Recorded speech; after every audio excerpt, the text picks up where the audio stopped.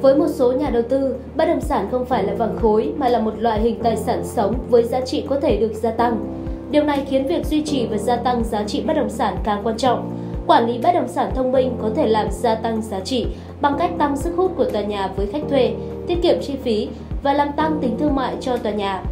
Theo đó, các nguyên tắc quản lý giúp tăng giá trị bất động sản bao gồm chọn nhân sự quản lý bất động sản chuyên nghiệp, giàu kinh nghiệm và dịch vụ quản lý bất động sản chất lượng có thể làm tăng tính thương mại của một tòa nhà. Tiếp đó là liên tục nâng cấp và cải thiện các tiện ích trong tòa nhà, có thể nâng cao giá trị của tòa nhà và giá thuê. Áp dụng các giải pháp và dịch vụ gia tăng giá trị tài sản như sử dụng hệ thống công nghệ thông tin và các giải pháp khác để nâng cao tính cạnh tranh của tòa nhà.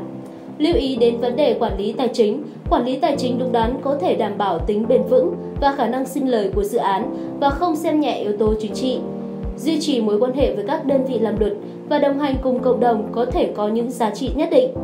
Đối với các dự án bất động sản đang trong giai đoạn thiết kế thi công, việc sử dụng dịch vụ tư vấn quản lý bất động sản sẽ giảm thiểu chi phí chỉnh sửa thiết kế của dự án, đảm bảo việc vận hành sau này, cũng như đưa ra được cho chủ đầu tư một bức tranh toàn cảnh về chi phí vận hành của dự án. Còn với những dự án đang trong giai đoạn giới thiệu ra thị trường, việc chọn được một đơn vị quản lý chuyên nghiệp sẽ tạo được niềm tin và tâm trạng muốn mua của khách hàng đối với dự án.